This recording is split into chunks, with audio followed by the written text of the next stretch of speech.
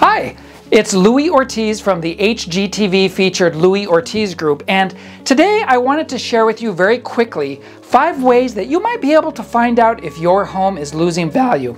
Now, be sure to stay to the end of the video because I'm going to I'm going to share with you a resource where you can actually find out your home's current value. So, number one, are your property taxes going down? You know, property taxes are typically based on your home's assessed value uh, times your local uh, tax rate. If your property taxes are going down, that could be an indicator that your home might be losing value. Number two, are classrooms in the schools in your neighborhood getting full or getting packed with people? You know, that may not be as obvious, but that could be an indicator that your home might be primed to lose value.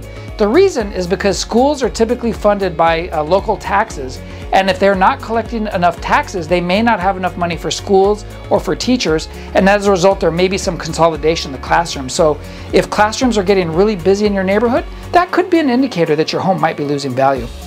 Uh, number three, are businesses in your area leaving town? You know, if businesses are leaving town, that could be a big indicator. We know that real estate is very, very much a supply and demand issue. And if there isn't the demand for housing, that could be an indicator that your home could be losing value in the near future. Are nearby homes in your neighborhood taking a long time to sell? Now, this is number four, and this could be another indicator that your homes could be losing value. If properties are just not selling as quickly as they as they used to, that could mean that there may be some downward pressure on prices to get those properties sold.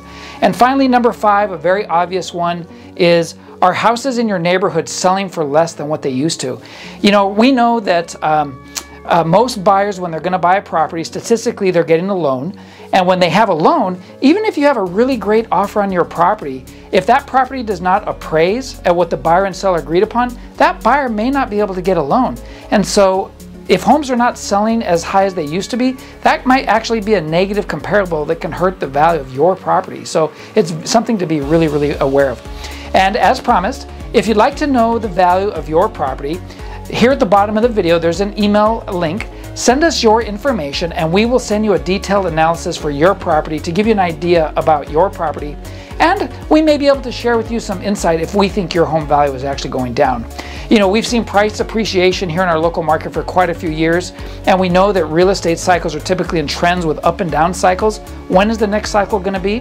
The reality is nobody can predict with certainty when it's going to be, but the data suggests that we are currently overdue for a correction. So this might be a really relevant time for you to get that property value information. So please send us your information and um, we'll, we'll send you that, uh, that home evaluation.